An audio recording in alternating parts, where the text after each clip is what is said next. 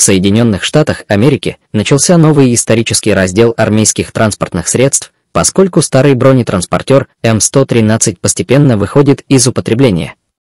Инновационные бронированные многоцелевые машины и MPV выходят на сцену, чтобы заменить своего легендарного предшественника. После нескольких лет разработки и тестирования армия США окончательно одобрила серийное производство новых AMPV.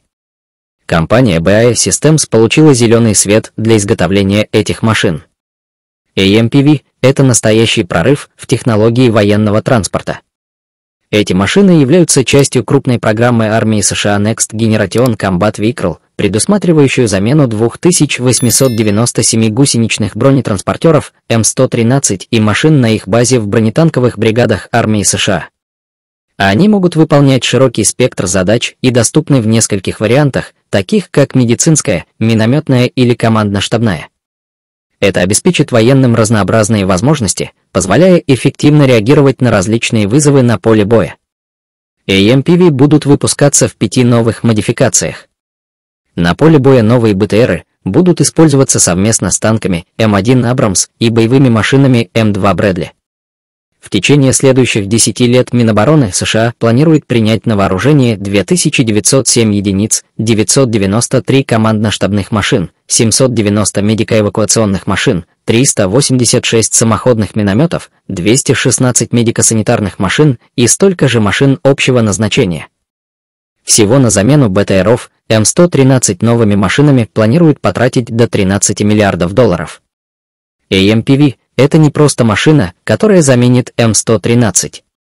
Это важный шаг вперед в улучшении эффективности, мобильности и защиты военных подразделений США. Предшественник М113 служил американской армии на протяжении десятилетий, и его уход со службы обозначает окончание эры старых технологий. Реализация программы EMPV осуществляется концерном BI Systems на заводе в городе Йорк, штат Пенсильвания, в кооперации с армейским арсеналом Retriever в городе Тексаркана, штат Техас. Очевидно, что по крайней мере часть машин придется построить с нуля, поскольку количество свободных М2, М3 меньше, чем требуется EMPV. EMPV имеет общие компоненты с артиллерией и БМП, что упростит логистику. В основе БТР лежит платформа Bradley M2. При переработке в машины семейства AMPV из BMP-M2 или BRM M3 демонтируется башня и устанавливается сменный модуль крыши в кормовой части кузова обычной высоты для БТР и миномета или увеличенной для КШМ и обоих вариантов медицинской машины. Фирма-разработчик гарантирует возможность замены модуля крыши обычной высоты на увеличенную или обратно в течение одного дня, благодаря чему можно быстро переоборудовать AMPV с одного варианта на другой. Второй блок работ связан с модернизацией силовой установки и ходовой части.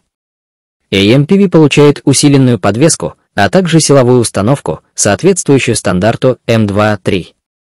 Дизельный двигатель Камен с мощностью 600 лошадиных сил в блоке с трансмиссией NMRT-500. Наконец, третьим существенным блоком доработок стал комплекс мер, направленных на повышение защищенности машины и ее экипажа. Внутренние топливные баки заменены наружными бронированными, расположенными в кормовой части машины. Это решение не только повышает безопасность экипажа, но способствует увеличению внутреннего объема кузова. Алюминиевое бронирование машины усилено накладками из стальной брони. Предусмотрена возможность установки блоков динамической защиты.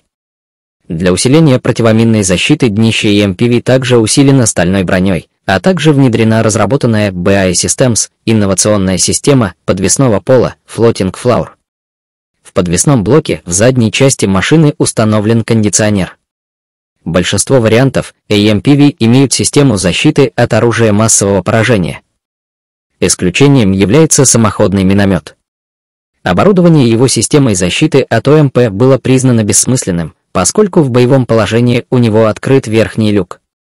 На машинах семейства AMPV предусмотрена возможность установки системы активной защиты Iron Light или TRFI, элементы которой устанавливаются непосредственно на корпусе бронемашины. Обе системы израильской разработки. В марте 2023 года армия США получила первый бригадный комплект AMPV, предназначенный для первой бронетанковой боевой группы 3-й пехотной дивизии. Эта группа стала первой в армии США, полностью укомплектованной современной техникой, а теперь еще и машинами и MPV.